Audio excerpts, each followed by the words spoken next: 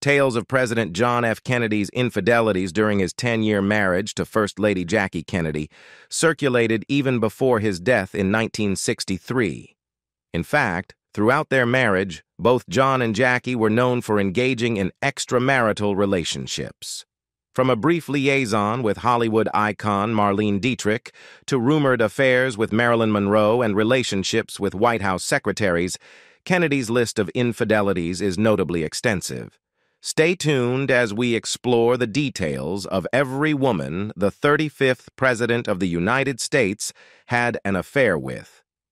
Judith Exner.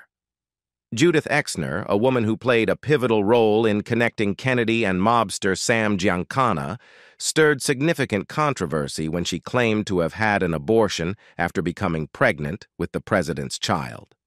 In a 1988 interview with People, Exner, the daughter of a well-off architect, portrayed Kennedy as incredibly loving, concerned about her feelings, considerate, and gentle during their affair. Despite the clandestine nature of Kennedy's relationships, rumors and revelations circulated widely, and Exner's memoir, My Story, published in 1977, added another layer of intrigue to the public's understanding of Kennedy's personal life.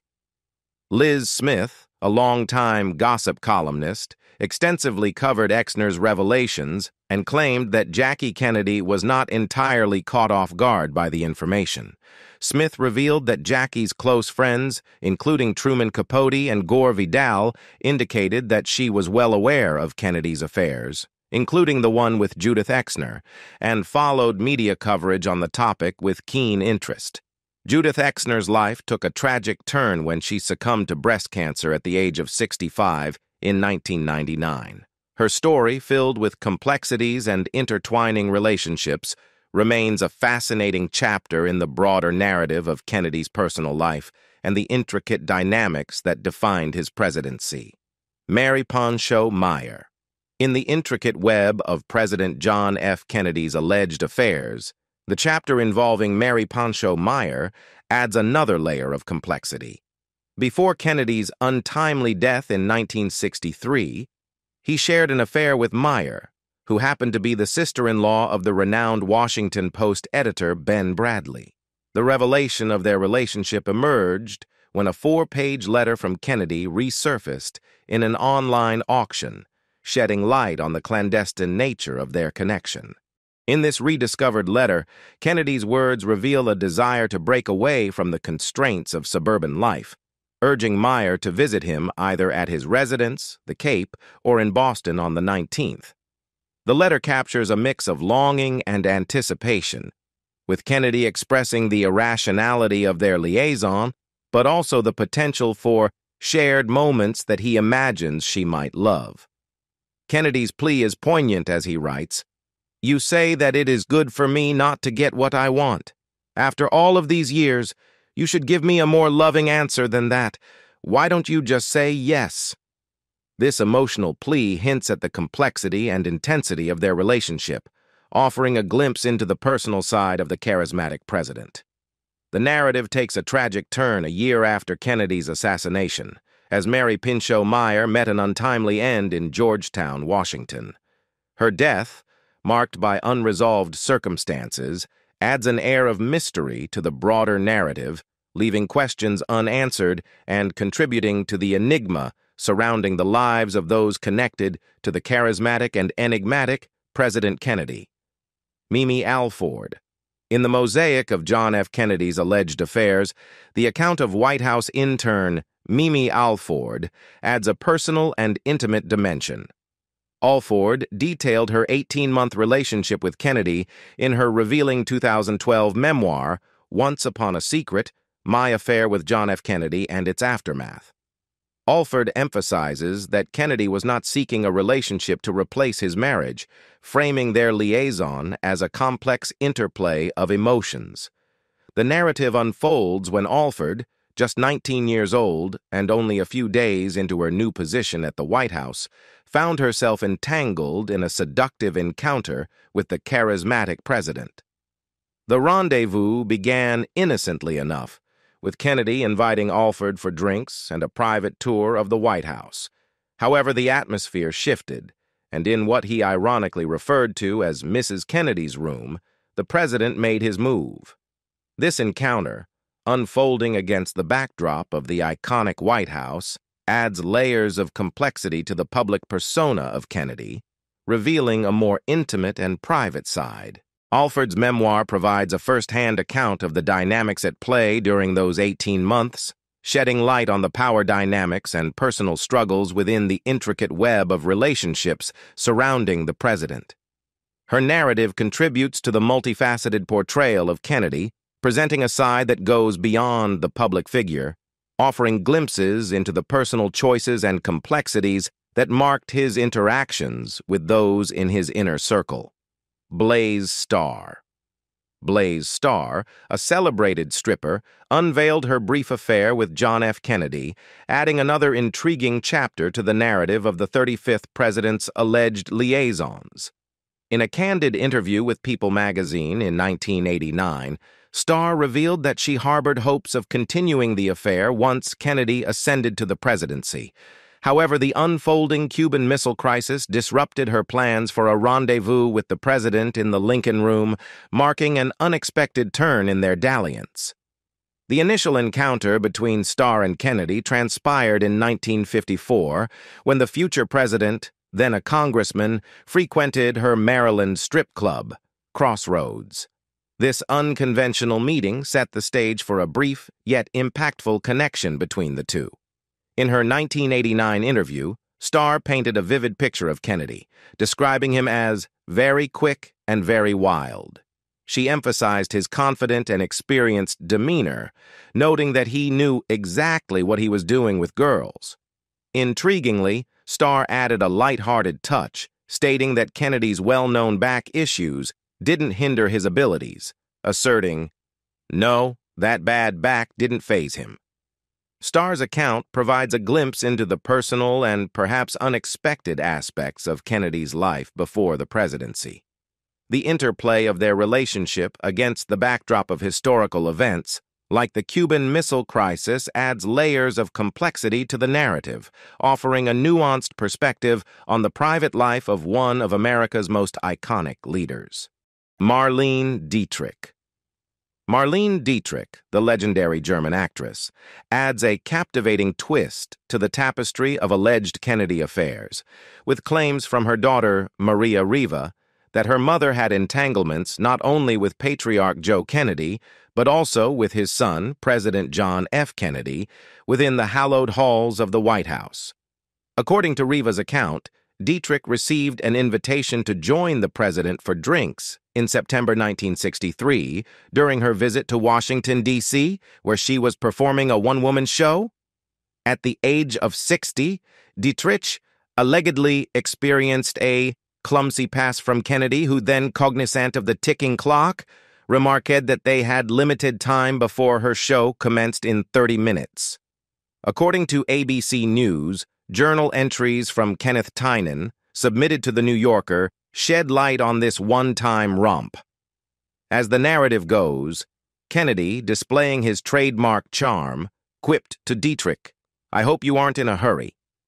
However, Dietrich, with a commitment awaiting her, responded that 2,000 Jews were waiting to give her a plaque at 7 p.m., and it was now 6.30. Undeterred by the ticking clock, Kennedy reportedly replied, that doesn't give us much time, does it? The encounter, as recounted by Dietrich to Tynan, concluded sweetly and very soon. The affair, encapsulated in a mere 20 minutes, saw Kennedy eventually drifting off to sleep. Dietrich, ever the punctual recipient of a plaque, had to rouse the president to guide her back to her car, ensuring she made it in time for the ceremony at 7 p.m. This brief liaison adds a nuanced anecdote to the tapestry of Kennedy's reported affairs, showcasing his ability to weave romance into even the most time-constrained situations. The rendezvous with Dietrich, as captured in Tynan's journal entries, offers a glimpse into the fleeting yet captivating moments of Kennedy's personal life. Pamela Turnure The intricate web of John F. Kennedy's romantic liaisons expands further with the inclusion of Pamela Turnure, rumored to have shared a brief romance with the president, as detailed in Larry J. Sabato's book, The Kennedy Half Century. Turnure, renowned for her striking resemblance to First Lady Jackie Kennedy, reportedly engaged in a clandestine affair with Kennedy that spanned two years, commencing in 1961 when she was just 21 years old. Intriguingly, Kennedy is believed to have played a role in Turnure's professional trajectory, advocating for her employment as Jackie's press secretary after she had previously served as his own secretary during his tenure as a senator. The dynamics of this purported affair add layers to the intricate relationships within the Kennedy circle, highlighting the president's alleged influence on professional appointments and the interconnected nature of personal and professional spheres. Priscilla Wear. Amidst the tapestry of John F. Kennedy's rumored affairs, another thread emerges with the inclusion of White House staff member Priscilla Wear, affectionately nicknamed Fiddle. The alleged affair between Kennedy and Wear was not only a subject of speculation, but also caught the attention of none other than Jackie Kennedy herself. Reports suggest that Jackie, conversing in French with a Paris Match reporter, pointedly remarked, This is the girl that's sleeping with my husband, referring to Wear. This revelation, shared by Kennedy press aide Barbara Gamarekian, adds a layer of complexity to the intricate dynamics within the Kennedy household. The nickname Fiddle persists in discussions about Wear's alleged involvement with Kennedy, as detailed in biographies penned by notable authors such as Larry Sabato and Seymour Hersh. Jill Cowen. Within the intricate tapestry of White House secrets, another intriguing figure emerges. Jill Cowen, a fellow secretary working alongside Priscilla Wear in the White House press office. While Cowen has maintained silence about her own relationship with President Kennedy, she has shared insights into his admiration for his wife, Jackie. According to Cowen, Kennedy took great pride in Jackie's meticulous record keeping. She noted that the president was very proud of the fact Mrs. Kennedy had kept a book of all the place settings and pictures of the flowers, the whole sort of personal touches in the White House. This glimpse into Kennedy's personal life adds a layer of complexity to his public image, showcasing his appreciation for the details that made the White House a home. In the labyrinth of White House affairs, Cowen herself was given the nickname Faddle. Together with Priscilla Wear, they became collectively known as Fiddle and Faddle. This cryptic nomenclature only adds to the mystique surrounding the relationships within the Kennedy administration, where personal dynamics intertwined with the grandeur of political power. Gunilla von Post. Within the enigmatic pages of White House history, a chapter unfolds through the words of Swedish socialite Gunilla von Post. Her memoir, Love, Jack, claims a clandestine connection with President John F. Kennedy that spanned six years, commencing in 1953. Their first encounter occurred when von Post, a 21-year-old Swede, and the 36-year-old Kennedy found themselves on the sun-kissed shores of the French Riviera. In the memoir, she vividly recounted the transformative moment. He turned and kissed me tenderly, and my breath was taken away. The brightness of the moon and stars made his eyes appear bluer than the ocean beneath us. The romance unfolded against the impending marriage of Kennedy to Jackie in a mere three weeks. Despite the imminent nuptials, Von Post and Kennedy maintained their connection. Two years later, they rendezvoused once more. In this meeting, Von Post alleges that Kennedy contemplated divorcing Jackie to be with her. However, the specter of scandal loomed large, and Kennedy, advised by his father, chose the path of political prudence, opting to preserve his marriage and burgeoning political career. Angie Dickinson.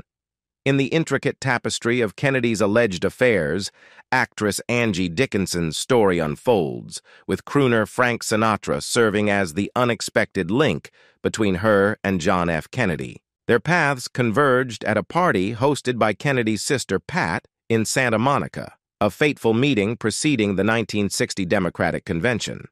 Subsequently, Dickinson found herself drawn into the orbit of the presidential campaign. However, amid the political fervor, Dickinson's narrative takes an intimate turn. Author Jed Mercurio, in his novel American Adulterer, delves into Dickinson's perspective, where she reportedly expressed dissatisfaction with Kennedy's stamina in the bedroom. This revelation adds a nuanced layer to the complex dynamics between Kennedy and the woman who allegedly shared fleeting moments with the charismatic president, Dickinson's account. Interwoven with political intrigue and personal revelations, offers a glimpse into the multifaceted nature of Kennedy's relationships during a pivotal era in American history. Ellen Rometsch in the labyrinth of tales surrounding President John F. Kennedy's personal life, the enigmatic figure of Ellen Rometsch emerges as a captivating character. A 27-year-old German prostitute, Rometsch is rumored to have been deported under the directives of Robert Kennedy due to the potentially revealing stories she held about his brother's escapades. Adding a cinematic touch to the narrative, Rometsch, often likened to the iconic Elizabeth Taylor, is said to have graced the White House with her presence during naked pool parties in the spring of 1963.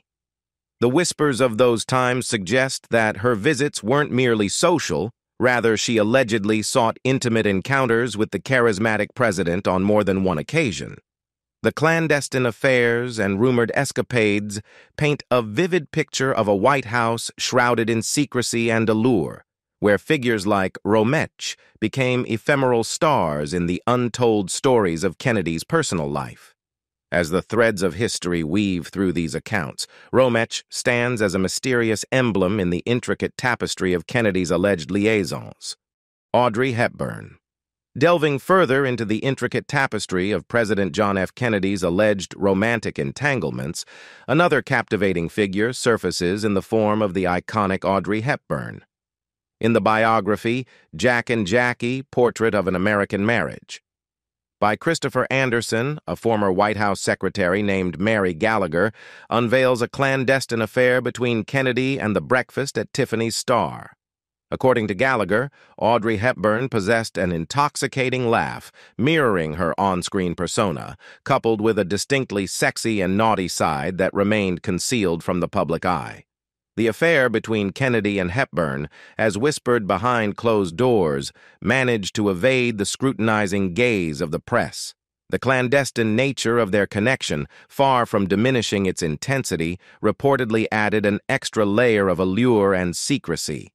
As these narratives unfold, Audrey Hepburn becomes a mysterious muse in the intriguing saga of Kennedy's alleged romantic liaisons, offering a glimpse into the enigmatic aspects of the charismatic president's personal life. Gene Tierney in the intricate tapestry of President John F. Kennedy's alleged romantic involvements, a recurring motif emerges, a penchant for entanglements with Hollywood luminaries. Among these star-studded liaisons, one of the more illustrious dalliances was with the captivating Gina Tierney. The affair between Kennedy and Gina Tierney is said to have transpired around 1948, a period when Tierney was still entwined in the bonds of mariage. This rendezvous adds another layer of glamour and allure to Kennedy's romantic history as it intertwines with the golden era of Hollywood. As the narrative unfolds, Gene Tierney becomes a captivating figure in the intricate dance of love and secrecy that is said to have characterized Kennedy's romantic escapades. The dalliance with a celebrated actress from the silver screen introduces a cinematic flair to the complex tale of the 35th president's alleged affairs. Marilyn Monroe, Marilyn Monroe, the iconic Hollywood actress, stands out as one of the most widely discussed figures in the realm of President John F. Kennedy's alleged affairs. Investigative reporter Seymour Hersh delved into these speculations in his book, The Dark Side of Camelot, where Monroe was named as one of Kennedy's mistresses. On the night of May 19, 1962, during a fundraising event and early celebration for President John F. Kennedy, Marilyn Monroe made a memorable entrance onto the Madison Square Garden stage. she gracefully shed her glamorous fur coat, revealing a skin-tight, rhinestone-encrusted gown, and approached the microphone. In her signature sultry yet oddly childlike voice, Monroe serenaded the president with the famous words, Happy birthday, Mr. President, followed by the classic refrain, Happy birthday to you. This alluring performance, laden with sensuality, intensified public speculation about a secret romantic connection between the Hollywood sex symbol and the commander-in-chief. Remarkably, this excursion did not include Kennedy's wife, Jackie. Monroe's captivating act became the fodder for years of intense speculation, fueled further by her untimely death just months after the event. In the aftermath, tabloids churned out reports filled with falsehoods and manipulated photos, contributing to the enduring mystique surrounding the rumored relationship between Monroe and President Kennedy.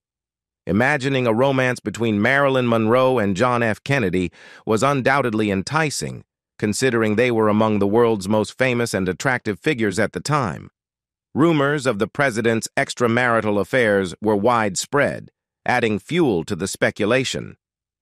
However, when it comes to the alleged Monroe-Kennedy relationship, the truth appears to be scant, according to various sources, including historian Donald Spoto, the author of the 1993 book Marilyn Monroe, The Biography. Accounts suggest that Kennedy and Monroe had limited opportunities to encounter each other throughout their lives. In April 1957, both reportedly attended the April in Paris ball at the Waldorf Astoria Hotel in New York City, but they did not meet.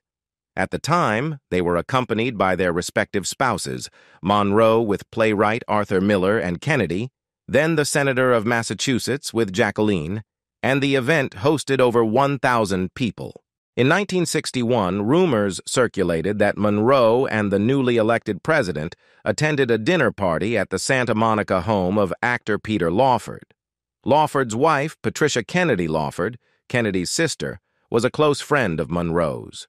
However, despite Kennedy's presence at Lawford's luncheon that day, there is no confirmation that Monroe was also in attendance, as reported by BuzzFeed. Historians suggest that the most plausible opportunity for an affair would have been on March 24, 1962. Monroe and Kennedy were believed to be at Bing Crosby's Palm Springs home for a party. In Donald Spoto's Marilyn Monroe, the biography, biographer Ralph Roberts, a close friend of Monroe, claimed that during a phone call with her that weekend, he heard what sounded like Kennedy's voice. Monroe had sought professional massage advice from Roberts, who mentioned that Kennedy, known for his back issues, even took the phone to speak with him directly. Susan Strasberg, an actress and close friend of Monroe, supported this account in her unpublished memoir. According to Susan, Marilyn enjoyed the secrecy and drama of a liaison with a charismatic president, considering it acceptable. However, Kennedy didn't fit the profile of the man Marilyn envisioned spending her life with, and she made that explicitly clear. If they were indeed together at Bing Crosby's home on the specified date, it's plausible that Kennedy might have asked Monroe to perform at his birthday celebration that very night. During that time, Monroe was working on the film Something's Got to Give and faced challenges with sinusitis and barbiturate dependence both of which contributed to delays in the movie schedule. She managed to fly to New York to honor her commitment to the president. However, the studio seized this pre-planned absence as a pretext to cancel the film, placing the blame on Monroe and initiating a lawsuit for breach of contract. In reality, the situation wasn't solely Monroe's fault, as she had previously requested the time off to attend the gala. The film was already facing setbacks due to frequent script rewrites. The birthday fundraiser marked the last documented occasion when Kennedy and Monroe might have intersected. Following her rendition of the supposedly scandalous Happy Birthday, Monroe transitioned into singing Thanks for the Memory, featuring lyrics she had penned specifically for the man of the hour. When Kennedy stepped up to express his gratitude, he remarked, I can now retire from politics after having had Happy Birthday sung to me in such a sweet, wholesome way. Following the event, the only existing photo of the two public figures together was captured by White House photographer Cecil Stoughton. This happened at a crowded after-party hosted at the residence of movie executive Arthur Krim. Interestingly, before her performance that night, Monroe was introduced as the late Marilyn Monroe, a playful reference to her frequent tardiness on film sets. In hindsight, this title takes on a poignant tone of foreshadowing. Less than three months later, on August 5, 1962, Marilyn was discovered dead from a barbiturate overdose in her Los Angeles home at the age of 36. While conspiracy theories persist, some involving the Kennedy family and an alleged cover-up, her death is widely accepted as either suicide or accidental. Exactly one year later, on November 22, 1963, President Kennedy was assassinated in Dallas, Texas, at the age of 46. As for their alleged affair, most accounts suggest it was more of a one-night stand. In contemporary times, if a sitting president were proven guilty of even half of what Kennedy was alleged to have been involved in, the media frenzy would likely devour them, resulting in a scandal that could significantly tarnish their reputation and credibility. However, Kennedy stood out uniquely, as he managed to evoke unparalleled affection and loyalty from his team members and supporters. Despite the intricate logistics of his liaisons demanding secrecy and devotion, his warm personality and magnetic charisma served as his secret weapons. Kennedy was convinced that his amiable relationships with influential members of the press would act as a shield, protecting him from the exposure of the details of his love life to the public eye. Were you aware of the extent of Kennedy's romantic involvements? And did any revelations about the women mentioned in this video surprise you? Share your thoughts in the comments. Before you leave, take a moment to show us some support, enabling us to continue presenting you with fact-filled videos like this one. Give us a like and subscribe to our channel. While you're at it, hit the bell icon to receive notifications ensuring you stay updated on our latest and upcoming videos without missing a beat. Stay tuned for more videos delving into the lives of your favorite stars, films, television shows, and notable figures of yesteryear. Bye for now.